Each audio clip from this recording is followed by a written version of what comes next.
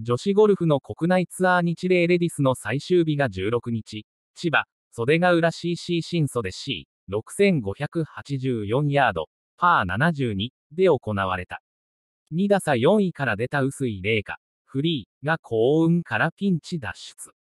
9番パー4で第1打が右にはぐれたが、観客のすねに当たったことが幸いしてこのホールをパーでしのいだ。画像、着こなせるのは峰藤子くらい、薄い麗華が前夜祭で披露したゴージャスドレス。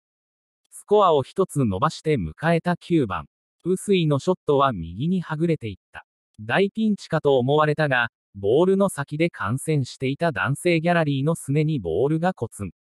当たらなければ木の根元まで転がる可能性があったが、ロープの外側のラフでボールが止まった。救われた薄井はこのホールをパーでしのいだ。ボールが当たってしまった男性に怪我などはなかったが、臼井はサインボールをプレゼント。周囲からも拍